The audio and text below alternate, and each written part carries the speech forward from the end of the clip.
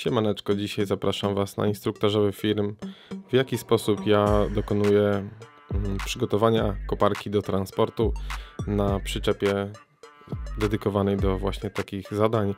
Jest to przyczepa budowlana firmy Viola e, o DMC 3 tony, więc zapraszam na film. Jak widać, najpierw trzeba e, łapy podporowe złożyć. Generalnie ta przyczepa w standardzie nie miała takich łap.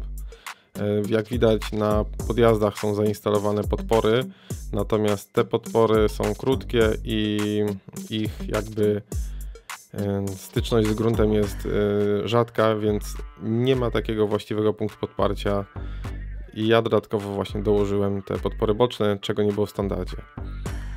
Jak widać, e, za każdym razem trzeba zakładać zawleczki na klamry montażowe, dlatego że mm, by nie było ryzyka, że się zdarzy jakieś odpięcie i, i przesunięcie e, tego najazdu i żeby to nie spadło. No i jak widać, teraz zapinam pasy. Pasy zapinam transportowe na krzyż. Wtedy, przynajmniej w moich e, tutaj odczuciach, e, ta koparka jest dużo lepiej e, ściśnięta, dużo lepiej trzyma się lawety.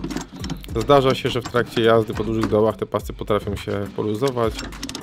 Natomiast no, jest to myślę, że najlepszy sposób mocowania. Jeżeli koparka nie ma takich punktów, żeby zaczepić właśnie pasy z tymi hakami, należy sobie założyć śruby takie, to są szekle, czyli, czyli mamy śrubę i takie oczko się tworzy wtedy bardzo fajnie. Mm, Można również do tego przypiąć pas.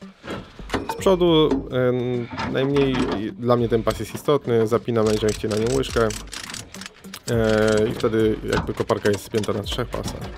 No i na koniec trzeba pamiętać o zwolnieniu hamulca ręcznego, który zawsze zaciągam przy wjeżdżaniu na e, tą lawetę.